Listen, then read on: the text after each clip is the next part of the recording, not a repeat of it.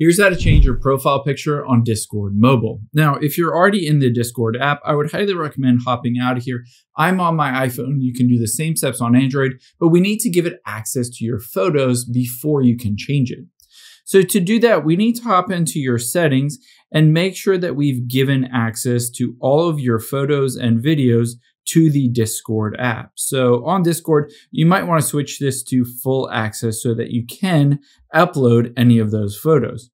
Now, let's head into the Discord app here.